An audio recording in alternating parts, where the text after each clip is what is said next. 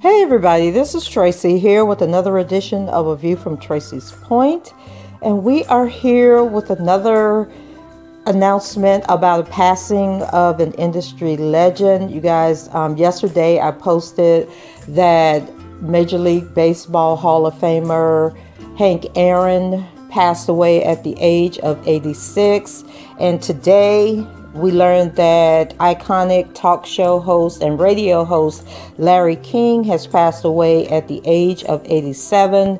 And his death comes a few weeks after it was announced that he had been diagnosed with coronavirus. Um, there is no cause of death given, but you know we can only assume that it was related to complications of COVID. So here is an article from Rolling Stone. It says Larry King, the award winning TV and radio host who became a household name with his long running CNN show, Larry King Live, died Saturday morning at the age of 87.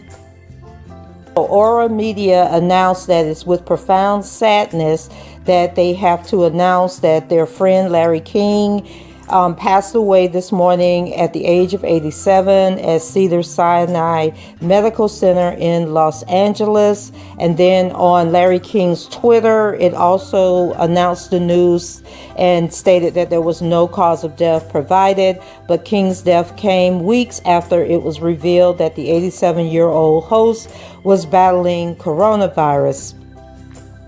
And for 63 years and across the platforms of radio, television, digital media, Larry's many thousands of interviews, awards, and global acclaim stand as a testament to his unique and lasting talent as a broadcaster.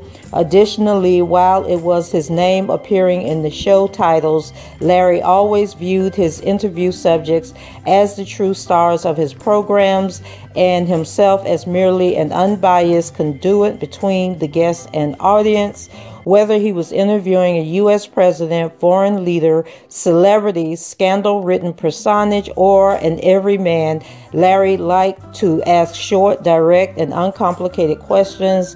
He believed concise questions usually provided the best answers, and he was not wrong in that belief.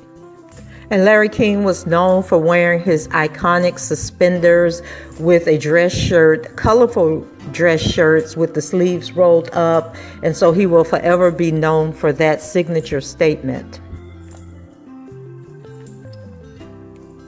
So King has battled other health problems over the years, including prostate cancer and two type and type 2 diabetes. In 1987, he suffered a heart attack that required um, quadruple bypass surgery quadruple bypass surgery, and in 2017, he underwent surgery to remove a malignant tumor in his lungs. And then earlier this year, two of King's adult children, son Andy and daughter Chaia, died within weeks of each other.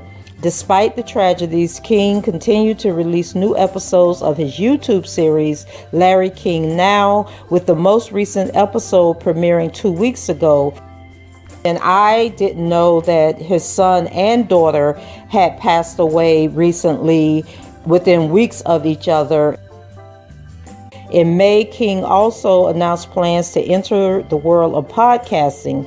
The Brooklyn born King began his career in the late 1950s as a newspaper journalist and Miami DJ before expanding his radio repertoire to celebrity interviews and sporting event commentary.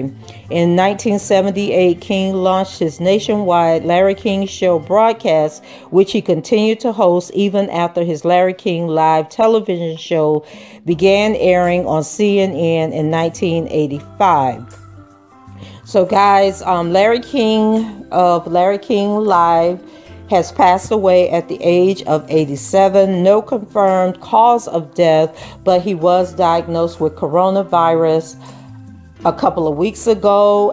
Prayers to whatever remaining family that he has, his friends, and I know that the journalism community is mourning his loss today. Just want to bring this information to you. Go ahead, leave your comments below, rate the video, and subscribe to the channel if you haven't done so already. And please get out and enjoy your day and tell the people that you love that you love them. And until the next time, guys, I'll talk to you later. Bye bye.